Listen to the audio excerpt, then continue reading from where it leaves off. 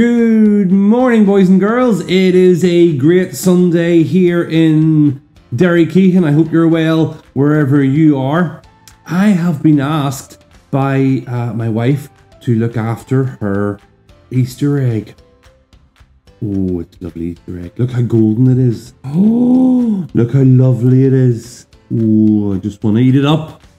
But she's asked me to ha- to look after it. It's not my egg. It's her egg. So she's asked me to look after it. So I'm going to put it down here. And let me see.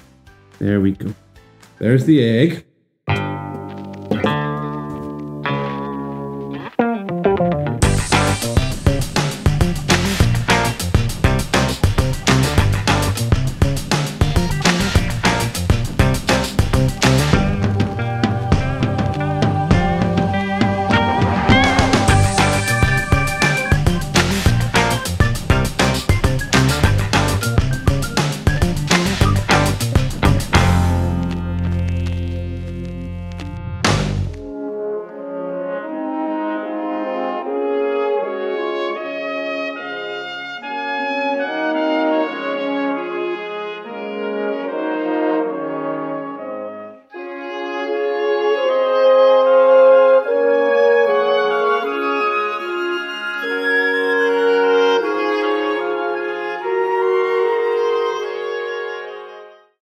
Boys and girls,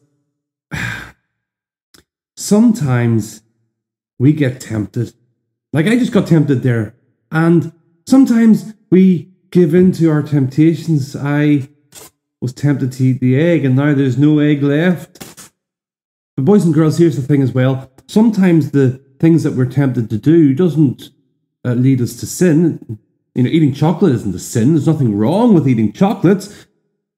But if your parents or someone else asks you not to eat it and you eat it, then you've disobeyed your parents. And that is a sin. So, boys and girls, the problem is that sometimes we do get tempted to do things that are wrong. So what do we do? Well, great thing is we have help. It says in the Bible in 1 Corinthians 10 13, the temptations in your life are no different from what others experience. And God is faithful. He will not allow the temptation to be more than you can stand. When you are tempted, He will show you a way out so that you can endure. Now, isn't that amazing, boys and girls? That when we're tempted to do something wrong, God will show us a way out. God is faithful to us, and we won't be tempted more than we will be able to endure. Isn't that great? That's awesome.